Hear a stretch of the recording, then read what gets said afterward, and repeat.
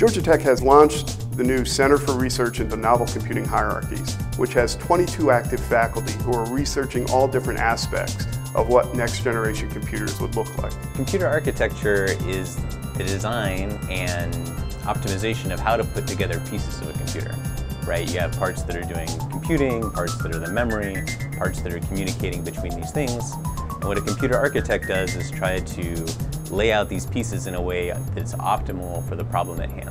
Computer architecture is essential if we're going to be talking about building computers because if you look around, computers are in everything. Most people are usually wearing two or three computers in a particular day. So we need to be able to find ways to build these structures in such a way that um, they could fit the applications. And people keep imagining better and better things all the time. So I would say the goal of CRNCH is to explore this space of new ways of doing computing, to find advantages over the way we have been doing computing. Why don't we take the quantum differences of how atoms and photons and things interact and try to build a computer built from those quantum pieces.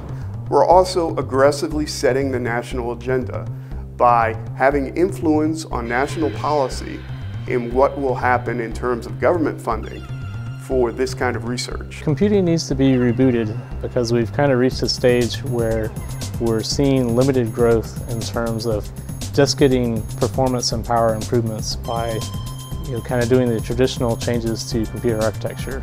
Let us kind of evolve what we can do with computers. Uh, when we think about the applications we can run now, sometimes we like to say, you know, this phone is what used to be a supercomputer 20 years ago. And if you think about what we could do with a supercomputer 20 years ago, now we can do very advanced calculations and simulations and scientific applications on something as simple as our cell phone. I think Georgia Tech is an amazing place for these opportunities. And the reason is we have such an interdisciplinary group of people from computer structures to devices to how do I put all these computing elements together to people doing cutting edge applications. All of this is important, as well as individuals who are looking at what is the next stage of computing. The goal of CRNCH is really to examine fundamentally new ways to compute and build these systems from the ground up. And we have several efforts. We have a top effort in quantum computing, for example, and another effort in brain-inspired computing. We also have efforts in how you use these fundamentally different devices to build new processors. So it's an exciting time for Georgia Tech, and it's an exciting time really for this field in general.